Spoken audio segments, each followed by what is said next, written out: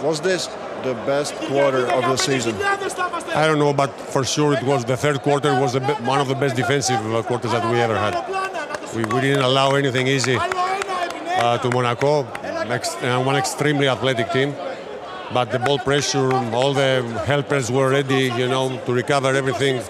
The defensive rebounding was great, and from this we took confidence in offense. So if you, I think we end up 13, 13 points down in the in the first half, and when we end up the third quarter, we were 10 points up and even more. So that means this quarter was crucial for the game.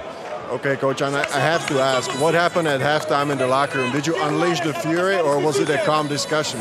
It was a completely calm discussion. I said, listen, guys, we need to calm down. In the first half, we missed nine free throws, two, three layups, and a lot of open shots. So we need to calm down to play our game. This was the, the basic uh, conversation.